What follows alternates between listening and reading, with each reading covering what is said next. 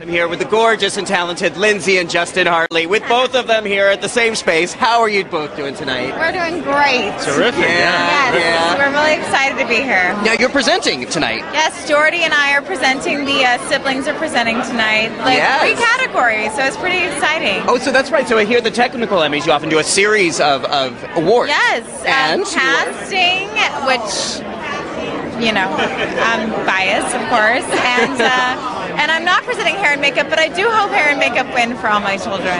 So they're lovely people, and they're so talented. They work so hard. So And I love you always have glitter. Every time I met you, you've always got the glitter on. obsessed with glitter. I have to have sparkle. We, a girl can't live without sparkle. I know. true. Yes, Is this true? Does she ever get glitter on you? Do you ever like find glitter on your? I don't Like- mind at all. I mean, look at her. Could I possibly mind? It doesn't matter to me. If she gets glitter, you can get glitter wherever you want. No, you two met on Passions. What was it like to, to meet someone and, and end up finding your partner on a set like that? That's pretty awesome. Yeah. It's lovely. I mean, we're blessed. We have it on videotape, you know? So. The meeting, the falling in love. Yes, not a lot of and we have a beautiful daughter, and she's almost seven Wow. already. It's crazy. Wow. So yeah, On a on a sad note, I'm so very sorry about the loss of all my children. I'm Oh, very very too. sad. Just as your character's been picking up ground and Thank you. really grooving. You know I'm what? thrilled. She gets to come home and be with me now. Oh yeah, and I what don't are have to share with anybody. I'm thrilled. You kidding me? I love to see this thing go. And what are you doing with your projects these days, young men?